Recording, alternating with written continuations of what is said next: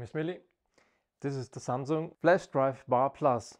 I got the 32 gigabyte version uh, and I filmed and photographed a wedding some weekends ago and uh, I choose this uh, flash drive to deliver my photos mainly because it really look, looks cool and it's not the fastest but it's quite a fast flash drive so uh, in this video I will just um, insert it in, into my MacBook and see how fast it is and how long it takes to um, copy the files. So it's just a quick review. I hope you have fun and uh, I hope you like my setup. Huh? Check this out.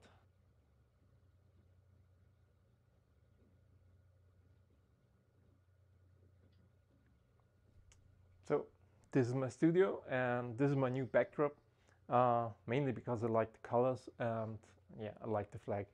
Uh, but I don't like uh, everything the US does obviously.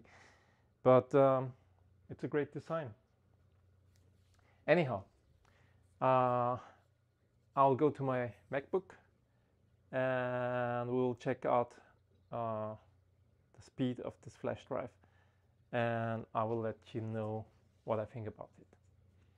Let me know what do you think about my studio. Would you prefer it like this or more like uh, a tighter shot? Okay. What about this?